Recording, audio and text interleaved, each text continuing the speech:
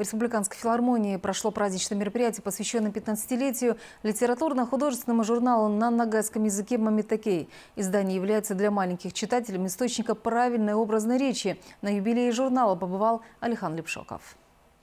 Вот уже 15 лет, как коллектив литературно-художественного журнала «Мамитике» все свои усилия направляют на то, чтобы развивать творческий потенциал подрастающего поколения. Первым главным редактором издания стал известный детский нагайский писатель, народный поэт Карачаева-Черкесии Аскерби Киреев. Он внес огромный вклад в становление детского журнала. А уже с 2009 года исполняющим обязанности главного редактора журнала стал член Союза журналистов России, поэт, корреспондент редакции газеты «Нугайда Высы» Асан Найманов.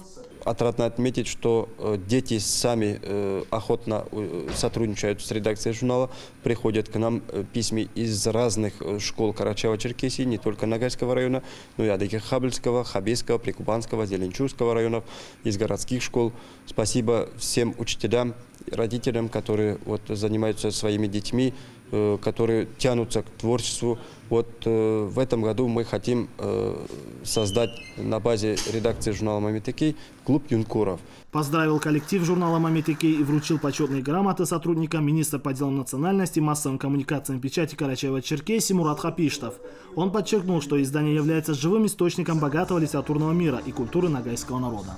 Я хотел бы поздравить в первую очередь это Асана Найманова, который на сегодняшний день ведет этот наш журнал. Хотелось бы, чтобы и в дальнейшем пожелаю тебе я сам, развития этого журнала, творческих успехов, чтобы мы гордились не только в Карачаево-Черкесии, но и во всей России издательством такого прекрасного журнала.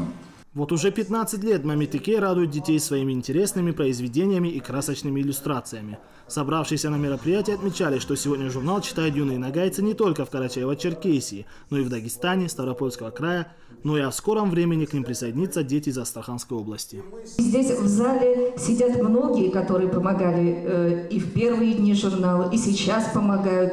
Да, Асан, я знаю. Асану как брату, братишке своему, желаю вот так держать. Действительно, э, Оскар сделал правильный выбор. И сейчас у журнала хороший коллектив, э, полны оптимизма, несмотря ни на что. Вот каждый номер журнала они выпускают. В рамках юбилея журнала известные нагайские артисты порадовали всех собравшихся своими музыкальными номерами. Алихан Лепшоков, Светлана Кокова, Аслан Баташев, Вести Карачаева, Черкесия.